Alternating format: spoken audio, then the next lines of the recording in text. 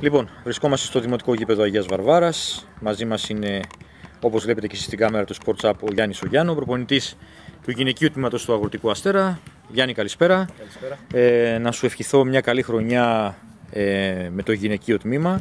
Μια δεύτερη χρονιά έτσι, στον πάγκο της ομάδας. Ε, έτσι, οι ευχές μου για ένα καλό πρωτάθλημα πρώτα απ' όλα με υγεία. Μετά έρχονται οι επιτυχίες έτσι, και οι διακρίσεις. Νομίζω λογικά θα έχεις και εσύ την ίδια άποψη, έτσι Γιάννη; Προφανώς, ναι. Πρώτα να έχουμε υγεία, να είναι καλά τα παιδιά χωρίς τραυματισμούς και η συνέχεια αναμένουμε ότι θα είναι και καλή. Ε, Γιάννη, να δούμε λίγο κάποια πράγματα έτσι σαν ε, πρώτη εκτίμηση για την ε, προετοιμασία της ομάδας που ξεκινάει σήμερα.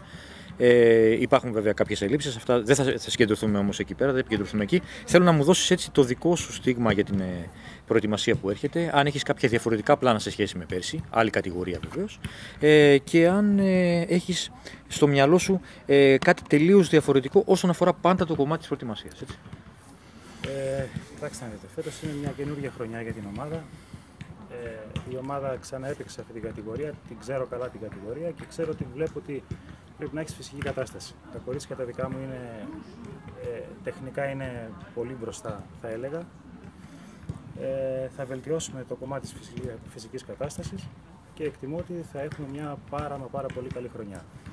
Ε, θα μπορούσα να κάνω και ένα έτσι λίγο νωρίς ένα ότι θέλουμε να σωθούμε στην κατηγορία όσο το δυνατόν πιο γρήγορα και από εκεί και πέρα, όπως γνωρίζετε και εσείς πολύ καλά, μέσα στην ομάδα υπάρχουν μικρά σε ηλικία κορίτσια, το 10χρονο και 13χρονο, τα οποία θέλω να πάρουν πάρα πολύ χρόνο συμμετοχής. Αυτό πέρυσι το πετύχαμε μέχρι ένα βαθμό με την Τελιγιανίδου την Αγγελική, που πήγε και πολύ καλά στο πρωτάθλημα, με την Παξεβάνου την ε, Ολίνα, που ήταν από τα πιο μικρά της ομάδας και δείξανε στοιχεία πολύ καλά και έχουν, το μέλλον είναι μπροστά τους. Δηλαδή. Σίγουρα. Αναφέρθηκε στο ρόστερ Γιάννη.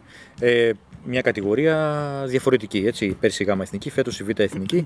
Φαντάζομαι στο μυαλό σου θα έχεις και μια είδους ενίσχυση. Με κάποια είδους ενίσχυση. Και φαντάζομαι ότι ε, ε, ήδη έχει γίνει. Απλά βέβαια δεν μπορούμε να πούμε κάποια συγκεκριμένα ναι, ονόματα. Έτσι. Η, η, ενίσχυση έχει γίνει στην ομάδα όσον αφορά το ρόστερ. Δεν μπορώ να σας πω ναι, ε, πώς είναι τα πράγματα αυτή τη στιγμή που μιλάμε. Βέβαια, ε, θα σας πω ότι ο βασικός κορμός της ομάδας παραμένει ο ίδιος. Ε, η ενίσχυση που έγινε στην ομάδα είναι στοχευμένα σε δύο σημεία, σε, σε δύο με τρία σημεία. Εκεί ήθελα, εγώ δεν ήθελα παραπάνω. Θέλω πιο πολύ να παίξουν τα δικά μου τα παιδιά μπάλα, αυτά που, που πέρυσι κάναν την τρομερή αυτή χρονιά θα έλεγα και μέχρι εκεί. Μια χρονιά, Γιάννη, η οποία πραγματικά έμεινε χαραγμένη και όχι μόνο σε εμάς, εδώ που ασχολούμαστε με το, πιο πολύ με το ημαθιώτικο ποδόσφαιρο, όσο και στην ε, πανελλαδικά. Ε, μια πορεία αίτητη, έτσι. Ε, πάρα πολλά τέρματα, μια δηλαδή επιθετική λειτουργία εξαιρετική. Ε, σίγουρα όμως είναι μια διαφορετική χρονιά η αυτή που έρχεται, Γιάννη. Ε, και κλείνοντας, θέλω έτσι να δω, να, εσύ που γνωρίζεις πάρα πολύ καλά το γυναικείο ποδόσφαιρο, ε, τι εστί Β' Εθνική πλέον, έτσι. Ε, κοιτάξτε να δείτε. Κατά τη γνώμη μου, Β' Εθνική είναι σαφώς ένα σκαλοπάτι πιο πάνω από τη γάμα εθνική που ήμασταν πέρυσι. Τα γήπεδα είναι πιο μεγάλα. Ε, τα κορίτσια πρέπει να έχουν φυσική κατάσταση πάρα πολύ καλή για να μπορούν να τα απεξέλθουν. Ε, θεωρώ ότι ομάδες που θα πρωταγωνιστήσουν θα είναι σε δυνάμεις, θα είναι πολύ δυνατές και ομάδες που θα κινδυνεύσουν δεν θα έχουν δυνάμεις. Αυτή είναι η γνώμη μου γιατί ξέρω και την κατηγορία πολύ Αυτό έχουμε και σαν σκοπό εμείς φέτος θα δουλέψουμε τεχνικά και πάρα πολύ θα δουλέψουμε με τη φυσική κατάσταση. Και όπως σας είπα και πριν, ευελπιστώ ότι θα έχουμε μια εξαιρετική πορεία και πάλι.